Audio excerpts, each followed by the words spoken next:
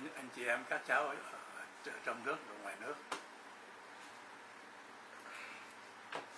Chào quý vị chào chị à, Phùng Tiểu Châu chào Dạ, anh Phi Xuân Vương chào anh Song Phạm chào quý vị chào các bạn. Và lại một lần nữa hôm nay thật là một vinh dự và là một điều rất là ngạc nhiên.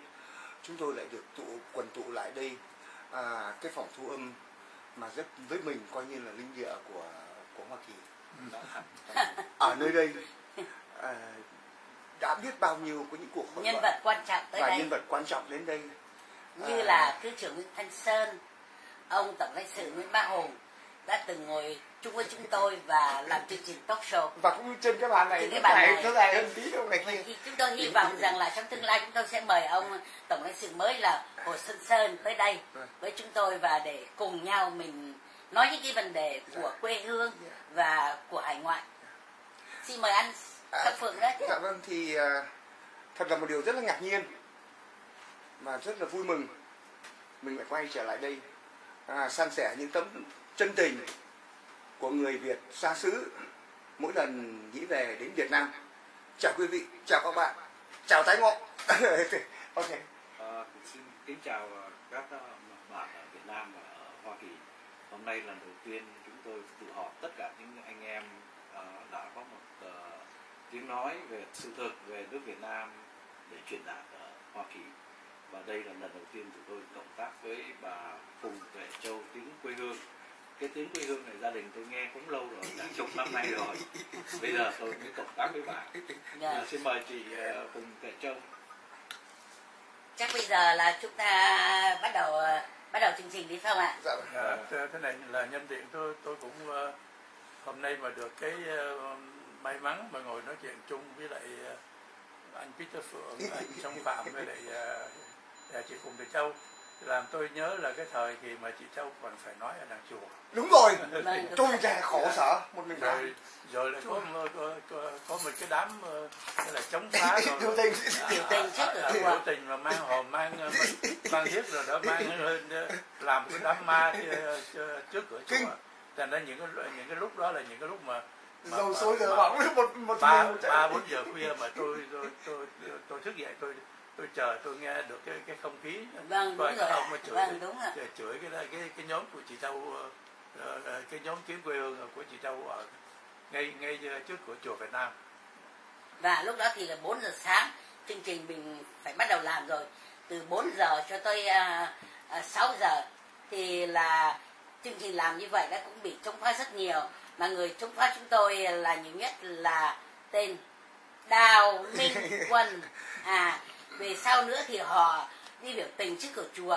Rồi cái, cái lúc đó thì cái hôm đó là gần à, tới ngày là lễ Phật đản thì th- thượng tọa họ minh nói với tôi là chị châu ơi bây giờ sắp sửa tới ngày à, phật đản rồi thì bây giờ mình chuyển cái chương trình văn phòng phát thanh của mình đi về nhà chị để làm làm chương trình thì là tôi thầy nói là vâng sẵn sàng thôi thầy con ơi con sẽ chấp nhận mọi sự. Thế là mới chuyển văn phòng của chúng tôi.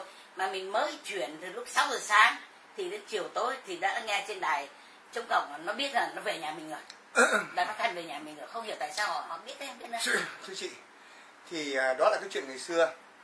Thì rồi từ từ đó tới bây giờ à, tiếng nói tiếng tiếng lòng của tiếng quê hương trước sau như một tâm tình như một lòng dạ như một không một mảy may thay đổi thì mình chỉ nói đến cái chuyện ông ông đào minh quân. À, chuyện ngày xưa thì gần đấy nhất gần, gần đấy nhất đấy chị thì đấy Việt Nam mình à, ông Đào Minh Quân gửi mấy người về hậu thiếp về Việt Nam rồi bây giờ bị tù 14 năm vâng cái đó mình nói sau thì không, mời anh thì xong nhắc lại mình, sao nhắc lại là mình chỉ nhắc lại là mình, thì là muốn đưa cái tin tức dạ, vâng, trước giờ tiên là sau đó đến phiên anh Dạ. tổng bí thư nguyễn phú trọng đi sang liên xô Vâng, vâng, à, Sa Phạm cũng vui vì hôm nay tất cả những khuôn mặt à, ở đây đã cùng một chí hướng nói lên cái sự thực từ Việt Nam chuyển đạt qua Hoa Kỳ. Những tiếng nói thực để giải bày những cái sự xuyên tạc ở Hoa Kỳ này. Tôi cộng tác với chị Phùng Tể Châu vì tôi đã nghe danh chị lâu trong cái tiếng nói quê hương. Cảm ơn. À, cảm ơn chị. Và cái tiếng nói này cả gia đình tôi nghe. Nhưng mà họ không biết là chị Phùng Tuệ Châu đã đem cái tiếng nói sự thực từ quê hương đến ở Hoa Kỳ. Và sự cộng tác này tôi hy vọng nó đem lại nhiều hứng khởi cho anh em ở Việt Nam. À, coi những chương trình của chúng tôi để bắt đầu thì chị vâng thưa các anh sẽ xin nói lại là chúng tôi hy vọng là chương trình của chúng ta đã sẽ tiếp tục dài dài dạ, có dạ. thể là hai tuần một lần bởi vì còn lấy tin tức. Dạ, vâng. và nghĩa là anh em mình ngồi với nhau bằng tất cả cái tấm lòng đối với quê hương đất nước chứ không phải bằng tiền bạc. Không ai cho ai tiền và không ai lợi dụng ai cả. Vâng, vâng đây đây là tiếng nói tự do của anh em chúng tôi. Không ai ràng buộc ai hết. Không ai nợ ai cái gì cả. Vâng chúng tôi đi với con tim của chúng tôi về quê hương nước Việt Nam thôi. Thì các anh cũng biết là ông tổng bí thư nguyễn phú trọng đã đi sang liên xô.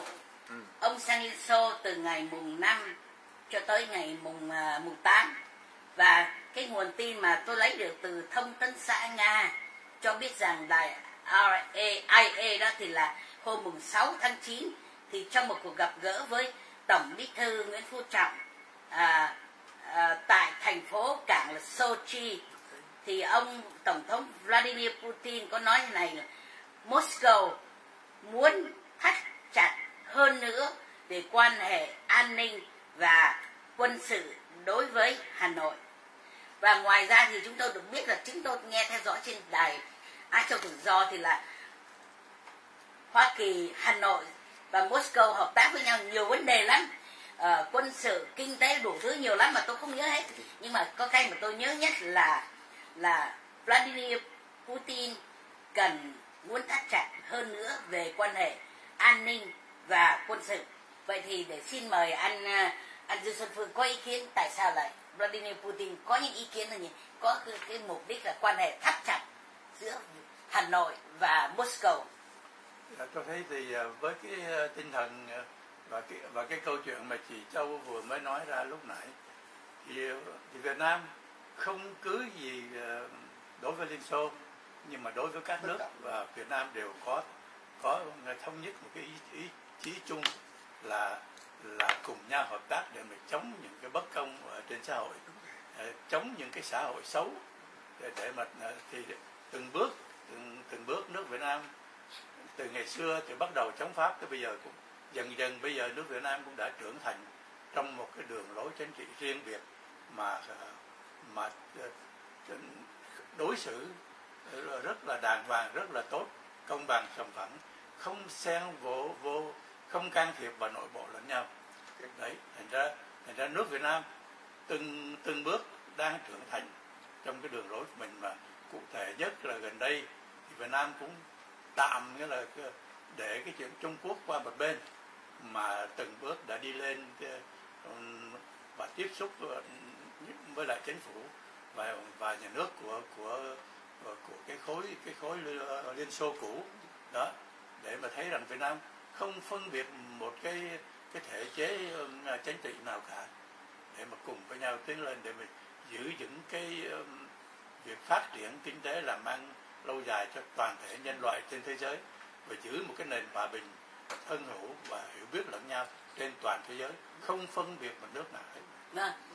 Thưa anh, cái đó là ý kiến của anh đối với Việt Nam. Nhưng mà tôi muốn hỏi là tại sao Vladimir Putin mời Tổng bí thư Nguyễn Phú Trọng? Xin mời anh anh anh Peter Phượng đến phiên Peter Phượng trả lời. bây giờ thế Tại này sao ông ông ông quý mến Việt Nam, ông phục Việt Nam vì lý do gì? Này- Hay là ông trân trọng quá Việt Nam lại mời để hợp tác Việt Nam trong vấn đề quân sự và an ninh? À, thưa, thưa chị thì kể từ ngày liên bang xô viết được thành lập hồi cách mạng 1910 mấy này sau đệ nhất sau đệ nhất thế chiến thì đến bây giờ 2018 trong một khoảng thời gian dài như vậy đến bây giờ Việt Nam cái tình hữu nghị giữa Việt Nam với Liên Xô bao giờ nó cũng đầy đặn như vậy. Bao giờ cũng đầy đặn như vậy. Đặc biệt là sau đệ nhị thế chiến đến bây giờ. Ừ, những cái bạn của Nga Xô bây giờ họ biến thành thế nào? Nhưng mà Việt Nam thì một lòng một dạ đúng. mình bao giờ mình cũng nghĩ đến cái nghĩa tình thì tôi nghĩ ờ, đặc biệt là người Nga Xô họ hiểu được cái khí khái của người Việt Nam họ hiểu được cái tâm tình của người Việt Nam Từ thời còn chiến tranh với Mỹ. từ hồi lâu lắm rồi Vâng. thì rồi và đến bây giờ ờ, câu chuyện của thế giới càng ngày càng nặng nặng độ chiến tranh không bao giờ chịu chấm dứt. Nhưng mà nếu muốn cổ vũ hòa bình nếu muốn hiểu hòa bình thì mọi người sẽ phải đến Việt Nam để vì mình học Việt Nam. học Việt Nam. Nếu muốn hiểu đến hòa bình tôi đã nói bao nhiêu người bạn Mỹ của tôi muốn hiểu hòa bình hãy đến Việt Nam. Thưa chị cũng cùng một cái uh, hơi thở với anh Hồ anh anh Dương Xuân Phương. Thì khi mà anh Phương nói là Việt Nam mình là bạn tất cả mọi người. Ừ. cách đây năm ngoái ông Shinzo Abe ông thủ tướng Nhật Bản. thì ông ấy đến Việt Nam rồi sau đó Nhật Hoàng đến Việt Nam. Thì sau trước đó thì bên ở bên Nhật Bản có ông Shinzo Abe nói một câu thế thấy tôi đọc tôi nghe mà tôi nhớ đến, đến không biết cái chừng nào mà tôi quên được. Ông nói một câu là thế này không có gì ngăn được dòng sông Hồng nối dòng đến vịnh Tokyo. Tức là cái niềm sống cái niềm tin của người Việt Nam với người Nhật Ờ. là bây giờ nó như một luồng hải như lưu. như một liền liền sông à? Một luồng hải lưu một luồng một luồng một luồng luồng máu huyết mạch. là coi như sông liền sông. Nối liền nối không có gì ngăn cản được dòng sông Hồng nối dòng vào vào vịnh Tokyo. Vịnh Tokyo là cái vịnh mà nơi đó người Nhật Bản Nhật Hòa người Nhật ký cái uh, sắc lệnh đầu hàng vô điều kiện. Đấy đồng minh thì thì thưa anh thế này. Nga Xô là một người người Việt Nam mình đến bây giờ từ trước đến giờ bao giờ họ cư xử với mình cũng như vậy. Từ trước đến giờ bao giờ cũng một lòng một dạ như vậy. Việt Nam mình hiểu cái chuyện đó hơn hẳn hết. Và trước sau từ trước bao giờ tình bạn càng ngày càng thắm thiết. Tại vì mình hiểu thế này là người Việt Nam họ rất là quý trọng tình bạn. Rất quý trọng tình bạn anh muốn hiểu họ quý trọng tình bạn thế nào đó thì anh sẽ tìm, anh nhìn thấy cái cách họ cư xử với kẻ thù. Từ một kẻ thù như thế này, tôi chỉ một cần khoảng một thời gian ngắn, mình biến, tôi sẽ biến thành người bạn. Như là tôi đã biến người Mỹ thành người bạn của tôi, như là tôi đã biến người Pháp thành người bạn của tôi, như là tôi đã biến người Trung Hoa thành người bạn của tôi, như là tôi đã biến người Campuchia thành người bạn của tôi. Muốn hiểu hòa bình, hãy đến Việt Nam cảm ơn anh Phượng. Tất cả đều hướng về hòa bình nước Việt Nam cần một thời gian để phát triển quốc gia. À, không hơn gì bằng mình phải đi về con đường hòa bình. Để dân chúng nó có một thời gian nghỉ ngơi và phát triển.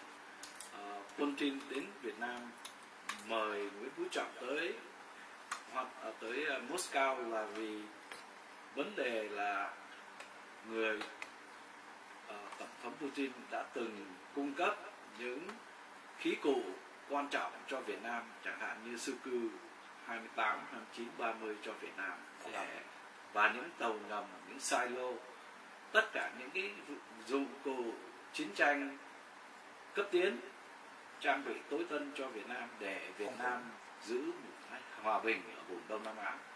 Ờ, tất cả những sự giao thương đó để bảo vệ cái nền hòa bình của Việt Nam. Cái điều quan trọng là để bảo vệ hòa bình, chứ Việt Nam không có muốn gây chiến bất cứ quốc gia nào. Và cái tình hữu nghị này nhớ về cuộc chiến Việt Nam xa xưa thì người Nga qua các thời đại đã ủng hộ Việt Nam từ súng đạn cho tới nhân mạng, nhân lực để phụ Việt Nam trong cuộc kháng chiến chống Mỹ, chống Pháp để đem lại sự hòa bình cho Việt Nam. Đây là cái mối nợ Việt Nam đã phải có với người Nga. À, tình hữu nghị Nga với Việt Nam song phương nó rất là tốt đẹp. Lúc nào cũng hướng đến cái sự lợi ích chung của nước Nga và nước Việt Nam. Mà đối tác Việt Nam với với với nước Nga rất là sòng phẳng và rất là có tinh thần huynh đệ anh em à, giúp đỡ nhau để bảo vệ cái sự hòa bình này nó giúp cho Việt Nam và Việt Nam cũng giúp cho cái cái cái sự phát triển hòa bình thế giới. Và trong tương lai Việt Nam sẽ đóng cái vai trò ở biển Đông bảo vệ cái hòa bình ở biển Đông. Ờ, chúng ta sẽ nói nhiều về vấn đề này trong những giai đoạn tới. À, Ờ, Ok. chị, rồi chị- bây giờ bây giờ ờ, cái- sẵn bởi vì anh à, anh à, à, song phạm nó về biển đông thì hồi sáng tôi nghe được đài hát châu tự do đó nha nhiều khi mình cứ ghét nó bảo mình bảo nó là phản động. Nhưng mà đôi lúc nghe cũng được lắm. Thì là Moscow và Hà Nội hợp tác với nhau cái vấn đề mà tôi thích nhất là trong vấn đề là khai thác về dầu hỏa hít à, và có thể là Moscow và Hà Nội khai thác vấn đề dầu khí dầu hỏa đó thì là để ngăn chặn sự phá đám của Trung Quốc. Cái cái đó là chuyện đương nhiên rồi. Việt Nam đã từng ký những cái giao kiều ờ, kèo với ờ, những dầu hỏa của Nga để đi tìm ở bên ờ, được thềm lục địa Việt Nam về dầu hỏa.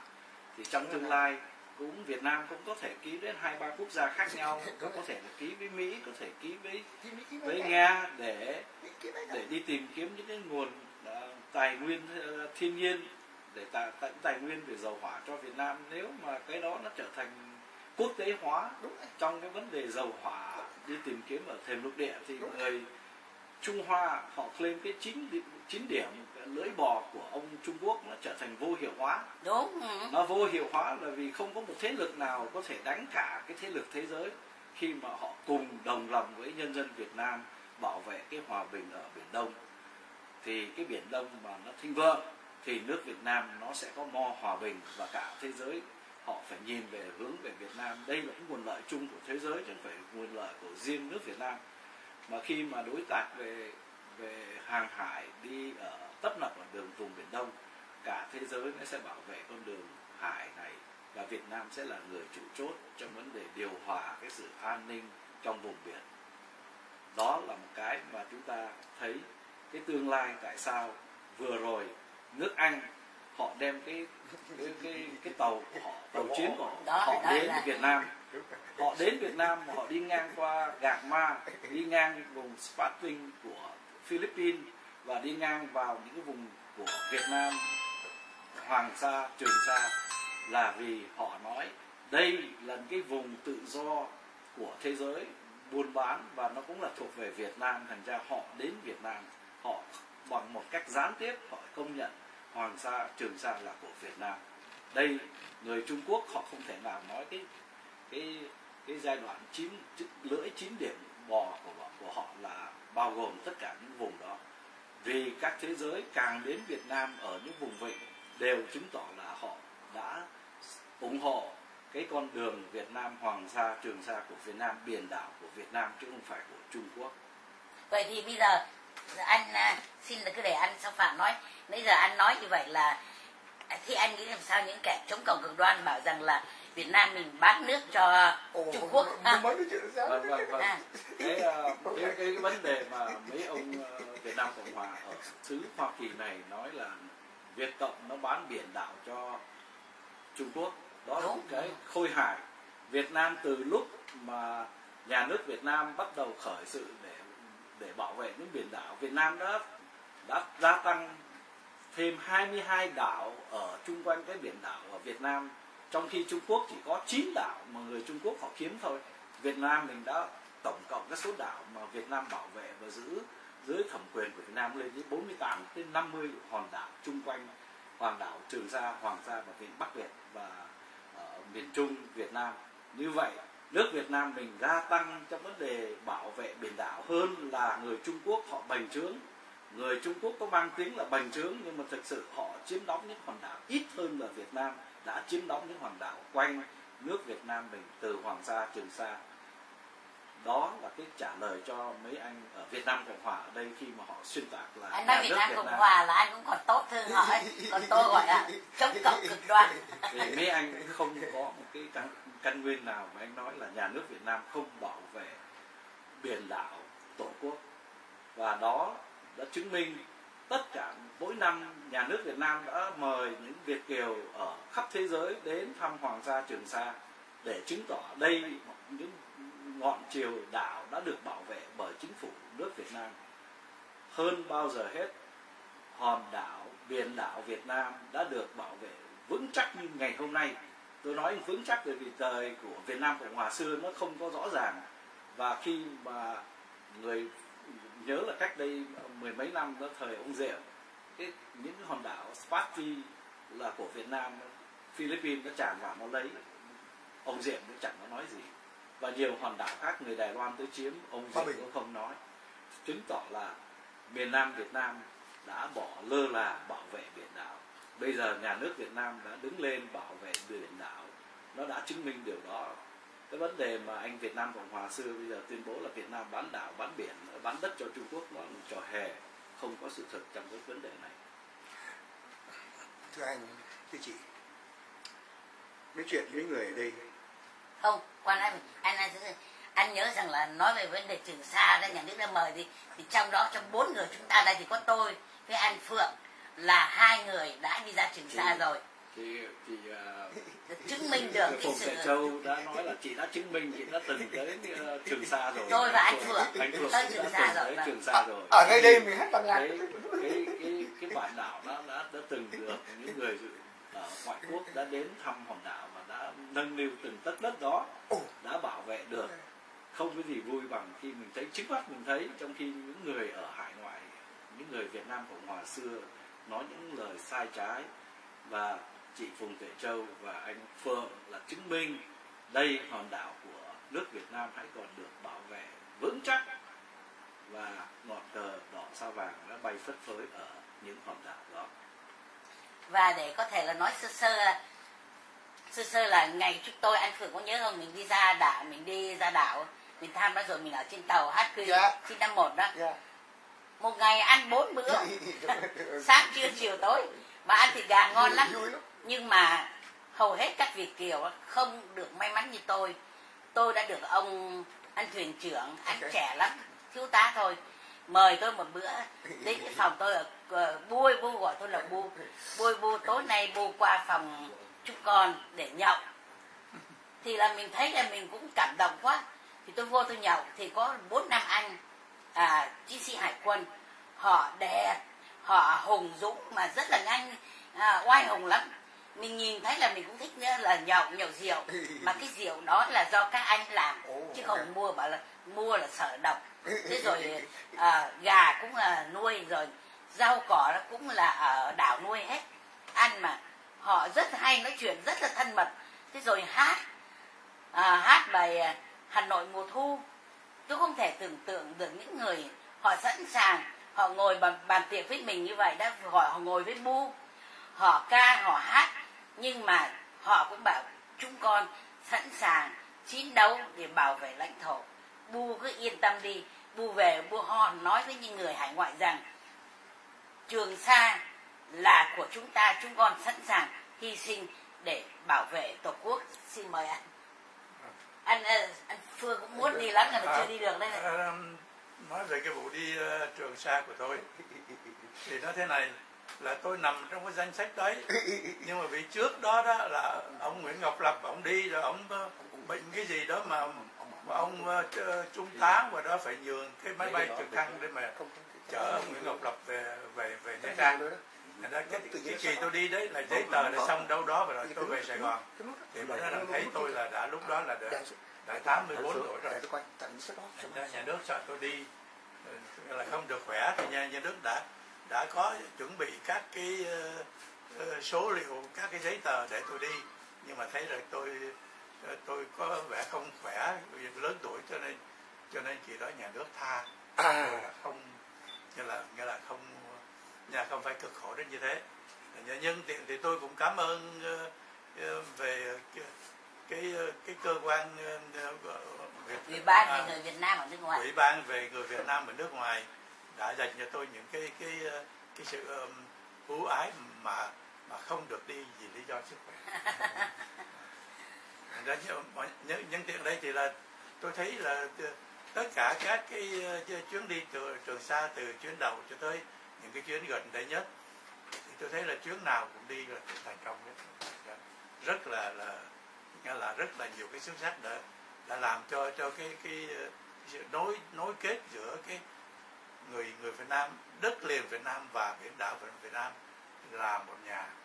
Chứ không có không có cái gì không có cái đảo nào mà chúng ta giao cho tàu mà rồi rồi chúng ta phải phải ờ, phải giấu giếm tất cả rồi rồi không có cái hội nghị thành đô phát khỉ gì hết trơn mà tôi thấy là là là cái gì mà là cứ bố láo là cứ lo đưa hội nghị thành đô ra. Rồi các anh ờ, rồi, nha, rồi các anh là xuyên tạc là giảng khoan dầu của ờ, của Việt ờ, của Trung Quốc mang vào- để mà khai thác trái phép. Thì lúc đó là một cái việc thử lửa Việt Nam ở đấy. Nó tàu đó nó sang đó nó đậu đó nó thị giỏ dư oai đó nhưng mà kỳ thật nó cũng không không làm được cái gì trên cái đất nước Việt Nam rồi tới tới cuối cùng nó phải rút nó về thôi thì đó tất cả những cái gì những cái luận điệu mà nói rằng Việt Nam bán hết đất nước cho tàu à, năm năm 2019 20 là Việt Nam năm 2020 là Việt Nam thuộc về tàu à, xin lỗi các bạn còn khuya mới có được Việt Nam đừng có ở đó mà mơ cái giấc mơ hảo huyền Việt Nam coi thế chứ bạn đường lưỡi bò tám khúc bảy khúc chín khúc gì là Việt Nam nó cắt mẹ nó lúc nào cũng không hay đấy thì giờ có có làm cái gì thì chăng được không bao giờ rớ được nghĩa là không đúng tới lòng chân của Việt Nam được đâu.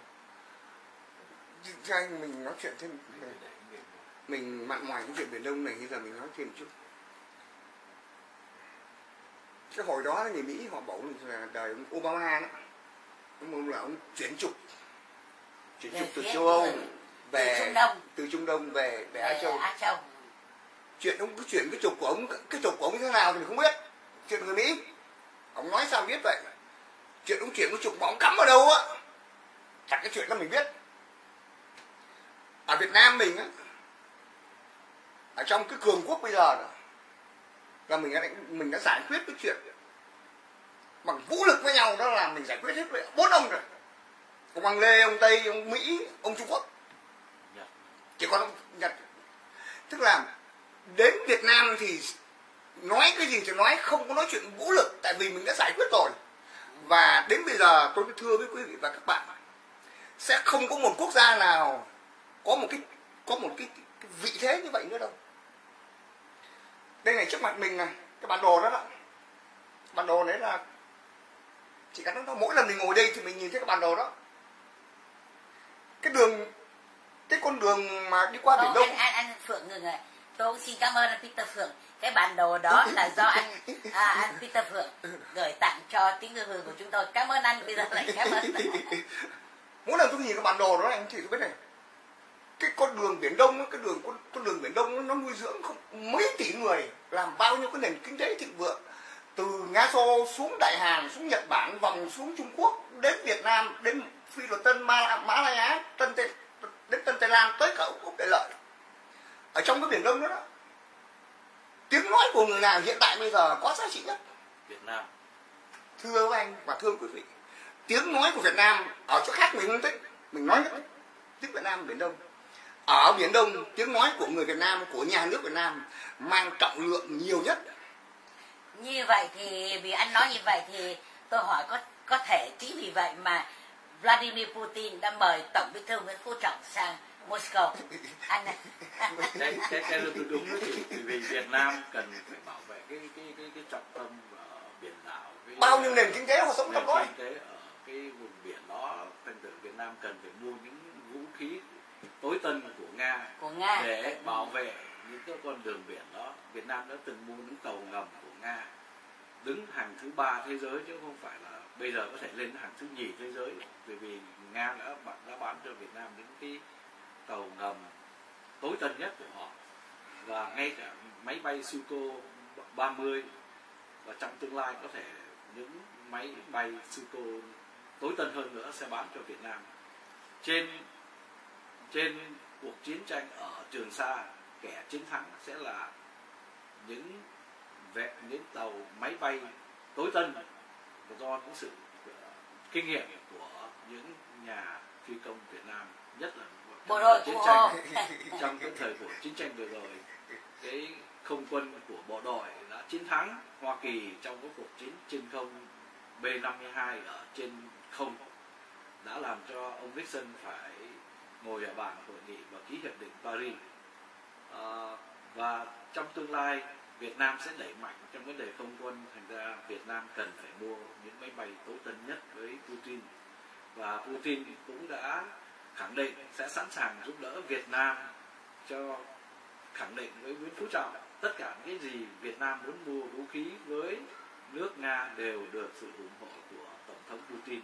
Đây là vấn đề quan trọng. Nó nó nó quan trọng ở chỗ chỉ có những người đã có công giúp Việt Nam trong vấn đề bảo vệ nước Việt Nam mà mạnh lại mạnh từ xưa đến nay thì nước Nga là một trong những nước, nước đã giúp Việt Nam rất nhiều và rất là sòng phẳng.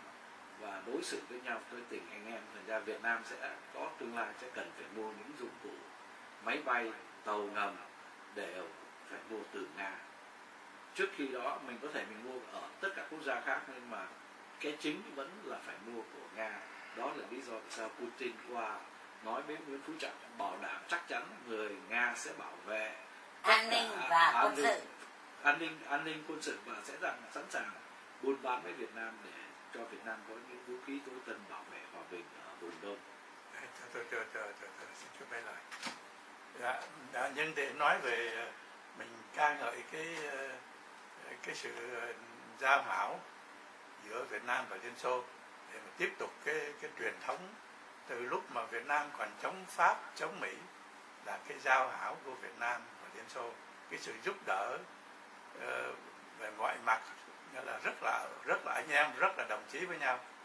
Ra cái chuyện đó bây giờ là cũng chỉ là những cái bước bước kế tiếp để mà củng cố cái tinh thần giao hảo giữa Việt Nam ờ, ờ, giờ và Liên Xô. Mặc dù lúc trước Liên Xô còn nằm ở trong cái hệ thống ờ, xã hội chủ nghĩa. Bây giờ thì ông Liên Xô ông, ông, ông bước ra ngoài.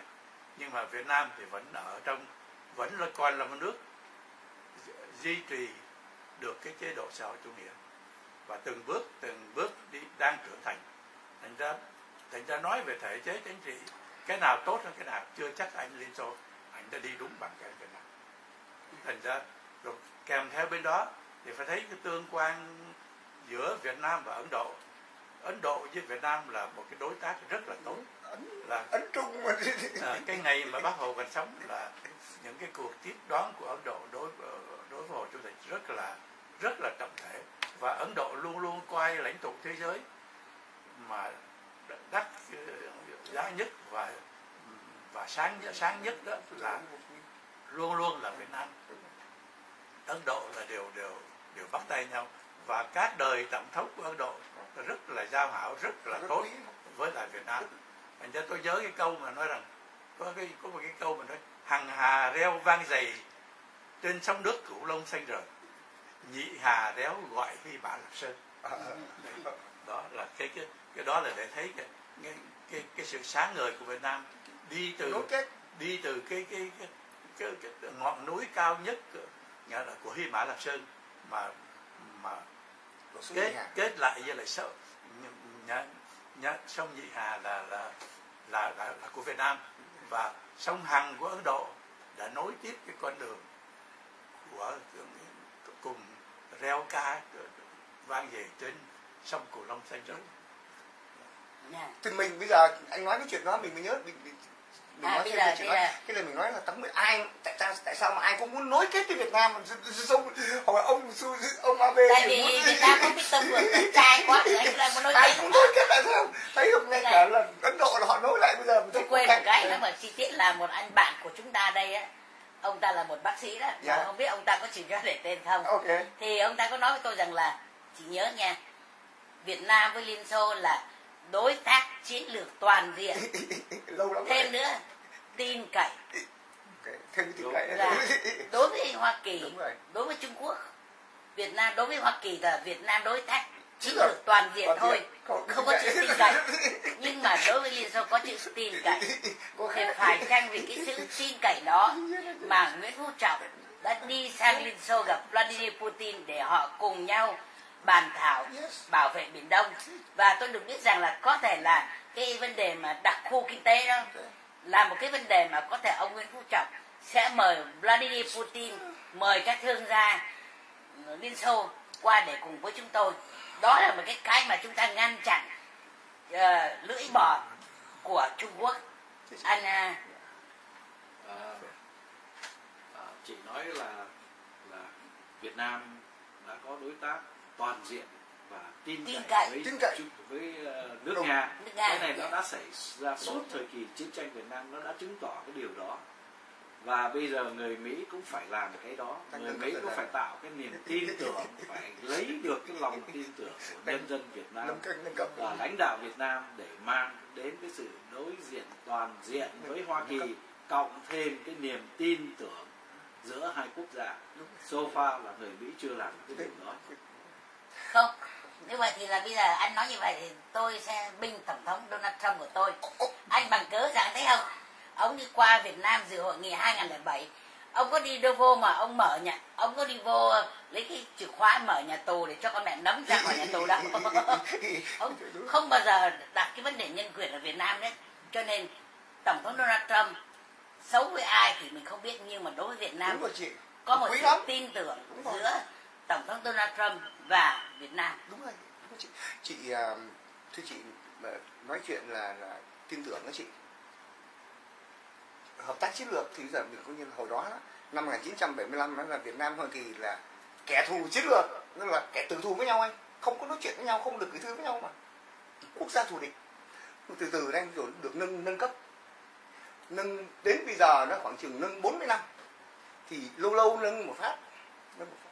Mà tôi nghĩ đó là cái giá trị cái thang bảng mà để để để định lượng cái giá trị giữa nền băng giao quốc tế giữa hai quốc gia đó là hợp tác chiến lược toàn diện và tin cậy. Tôi nghĩ là cái đó là đỉnh điểm của nó. Thì tất cả mọi người bây giờ biết Việt Nam tất cả mọi người bây giờ là đang cố gắng làm như vậy. Tại vì tại sao anh? Tại vì trước đó, đó là những ông cường quốc có một cái khởi đầu với Việt Nam ở những cái dạng rất là rất là thấp mình là kẻ thù của nhau mà. Ông Pháp cũng là kẻ thù của Việt Nam ông Mỹ cũng là kẻ thù của Việt Nam. Nhưng mà phải nâng cấp dần dần. Người Mỹ họ nâng cũng giỏi Việt Nam phụ họ cũng hay. Nâng mà khoảng chừng chưa đầy chưa đầy hai- 20 năm. Kể từ ngày kể từ ngày thiết lập băng giao là lên đến một cái gì? Hợp tác toàn chiến lược chiến lược toàn diện. Thấy không?